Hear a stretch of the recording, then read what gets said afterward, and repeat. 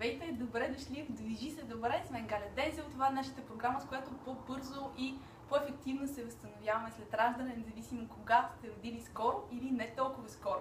Днес ще говорим за моята любима тема спането.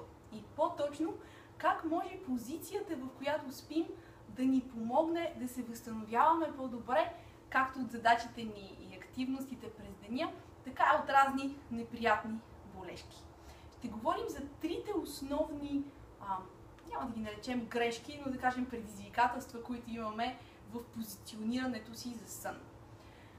Хубаво е да наблюдавате как спите и как позиционирате тялото си, за да ви бъде наистина полезна тази информация. Така че тази вечер забележете какви са вашите навици за позициониране и може би утре гледайте отново, за да може да анализирате как позиционирате тялото си и да може да ползвате тези съвети малко по-пълноценно.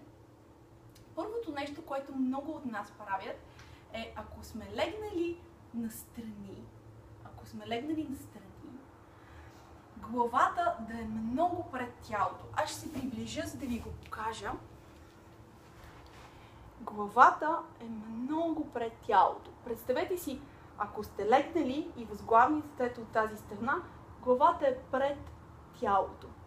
Това не позволява на мускулите на врата да почиват в оптималната за тях позиция. Затова следващия път, когато легнете и сега може да вземете една възглавница, да опитате докато аз ви разказвам, просто приближете брадичката назад, така че врата да бъде издължен, а не да бъде напред, пред вас и извит. Това е едно. Второто, което често виждаме, особено тези от вас, които кърмят в легнала позиция или дълго време са кърмили в легнала позиция, е, че гръдния кош се изнася напред. Гърдите отиват напред и тази позиция започва да става естествена. И така вие, лежейки настрани и опитвайки се да си почивате от дългия ден, всъщност си почивате с гръдния кош изнесен пред таза.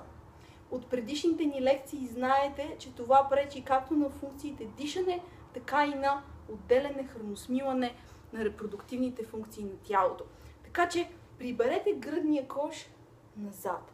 Ако усещате, че сте легнали в тази извита позиция, приберете гръдния кош лекичко назад, приберете брадичката леко назад и така тялото е в по-вертикална позиция, отколкото обикновено се намира.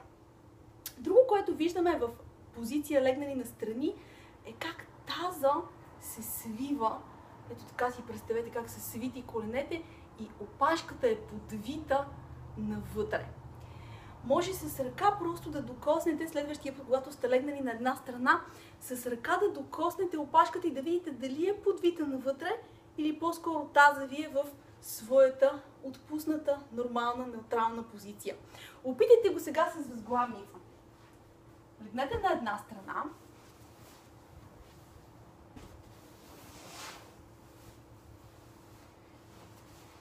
И първо проверете главата дали е твърде много пред тялото. Ако е твърде много пред тялото, приберете лекичко назад, така че вратлето отзад да бъде издължено.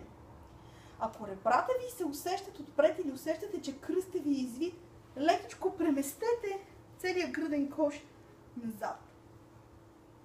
И след това, ако усещате, че краката са много свити и че опашката е подвита навътре, лекичко отпуснете крака и върнете таза назад, така че опашката да не е свита навътре. Хубаво е, когато сте легнали на една страна, да имате възглавница между коленете. На повечето от нас ни е удобно да спим в тази позиция. Добре е височината на възглавницата да е такава, че да ви позволява врата да е в права позиция, а не главата да виси надолу или да е твърде нагоре. Ще ви покажа с твърде висока възглавница, как цялото тяло е извито нагоре и това пречи на дихателните пътища. По-добре е да бъдете с височина на възглавницата, която позволява вертикално позициониране на врата спрямо градния кош. Друго, което често се случва, е, че когато легнем по гръб, особено ако имаме много напрежение останало в мускулите, които са отпред между бедрата и таза, Много често, когато сме легнали по гръб и спънем крака, гръдния кош остава много високо и кръста остава напрегнат. За да облегчите тази позиция при спане, можете да правите две неща. Едното е да сложите възглавница под коленете и да останете в легнало положение с възглавница под коленете. Има малки кръгли възглавнички, които са особено подходящи за тази цел. Другото, което може да направите е да обърнете специално внимание възглавницата да не само под врата ви, но също така да подпира и горната част на раменете. Така най-вероятно ще може да почивате една идея по-добре.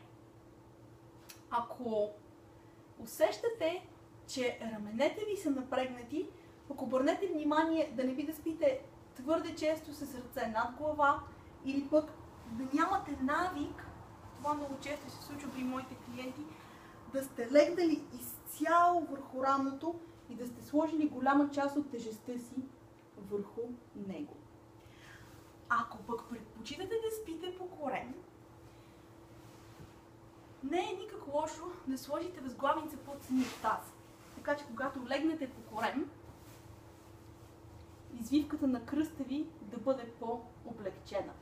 От всички позиции за спане, аз лично предпочитам спането по гръб или спането на една страна много повече, отколкото спането по корем, тъй като там и за глезените, и за врата, и за кръста има доста натоварване. Разбира се, това е индивидуално за всеки и е хубаво вие да обърнете внимание с човек, с който често се виждате, дали е масажист или кинезитерапевт или пък а, добре обучен треньор и да отработите тези позиции за спане, които за вас биха били най-удобни и най-приятни и регенеративни съответно.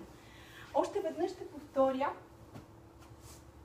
и ще се приближа към камерата, за да може да видим още веднъж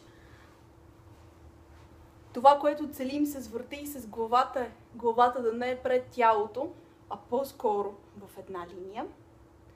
Това, което целим с гръдния кош е гръдния кош да не е изпъчен, а да е по-скоро прибран назад и спокоен. И това, което целим с таза е да не е прибрана опашката навътре, а по-скоро таза да е отпуснат в своята спокойна, естествена позиция, в която е и когато сте станали прави. Хубаво е сутрин, след като станете от сън, да си дадете малко време да се поразходите, малко време да се пораздвижите, преди да правите каквито и да било упражнения, поне 30 минути. Още един мъничък трик ще ви дам за това как да поддържате здравето на раменете, не само като не спите много често с ръце над глава, а и като обръщате внимание, на мен ми се случва много често сутрин, когато съм стънена веднага след сън, да отида в кухнята, за да си взема чаша за вода или за кафе и да се протегна към шкафа и да усетя кръста как ми се натоварва.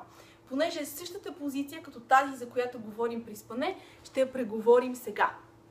Представете си, че сте станали сутринта, пораздвижили сте се малко, влизате си в кухнята и се протягате, за да си вземете чаша за вода или кафе.